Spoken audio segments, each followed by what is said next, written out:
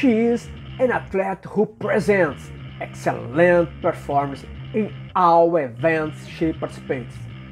For many, it is considered the future world champion.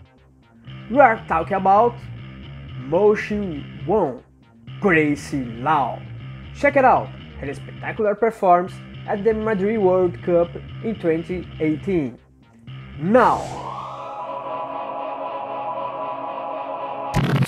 Hello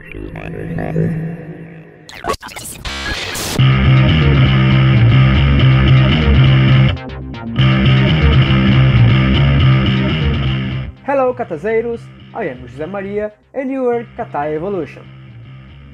One of the most constant athletes on the world circuit, Grace Lau from Hong Kong, presents consistency in all criteria. Let's check it out, the qualities of the current number 4 in the world.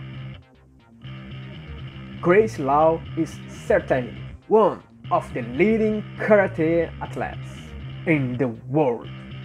Number 4 in the WKF ranking, Grace Lau has a strong rival on her own continent, Kiyou Shimizu.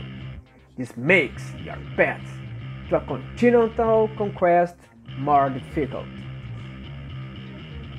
Grace Lau has won almost all athletes today, with presentation of a right degree of performance. She is considered by many to be the future world champion. With increased evolution in her performance, Grace Lau is a strong candidate in all events she participates. In Madrid 2018, Grace Lau and Maria Dimitrova made a dispute for the much disputed bronze medal. Both had very good performance throughout the event. Let's see what the SEK introduces us to Grace Lau's performance.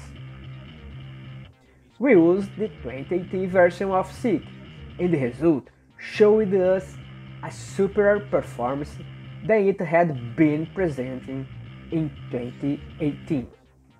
As she was facing a very technical opponent, Maria Dimitrova, Grace Lau had to use her, her ability and motivation to win the bronze medal.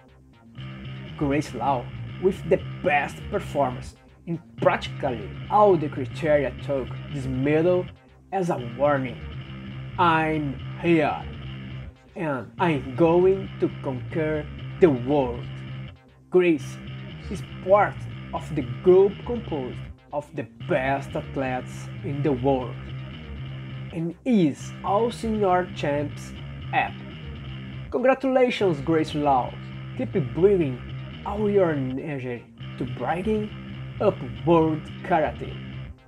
If you like our evolution today, like it, subscribe to our channel, comment, your opinion is very important to us. Be well, big hug, and see you next time. See you!